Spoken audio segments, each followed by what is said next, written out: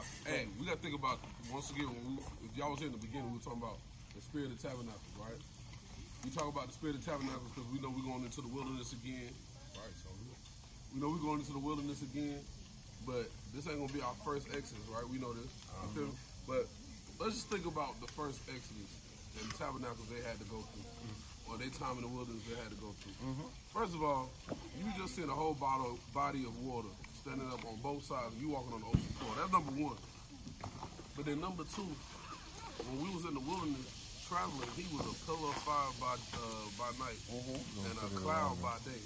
We already know what clouds is in the scripture, right? What the world would call a, a, a, UFO, what we would call a chariot. Let's imagine you walking, you see this thing. You feel me? A lot of us be playing with tabernacles. You know what I'm saying? I don't, I learned that about myself. We play with tabernacles and then expect to be in the spirit when we see all of that.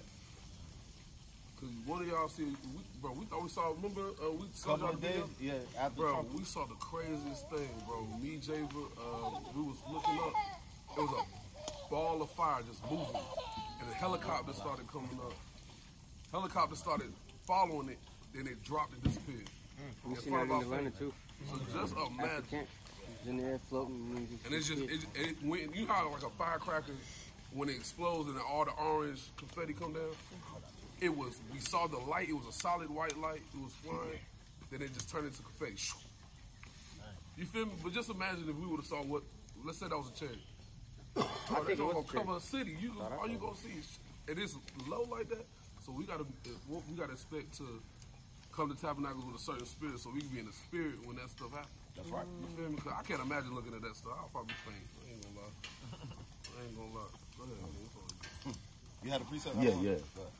Uh, maintaining that spirit with Yahawashi, I want to go to Ephesians 2 and uh, 2 and 12. Uh-huh. And it reads that at that time ye were without uh, Yahawashi, Christ. Yep. That's the way that, you know, the children of Israel always, through all their captivities, they go away and be without the Most High, right? Being aliens from the commonwealth of Israel and strangers from the covenants of promise, having no hope without Yahweh in the world. That's right. And that's the way we are right now. We're, we're in this world and we, we're bringing people back in the spirit of tabernacles to give that hope and to know that Yahawashi is the sanctuary at this point. Yeah, that's right. That's right. A lot of people don't know that this is part of grafting in. Keeping these feast days, keeping these holy days, this is grafting back in. Mm-hmm. Again. Again. Con.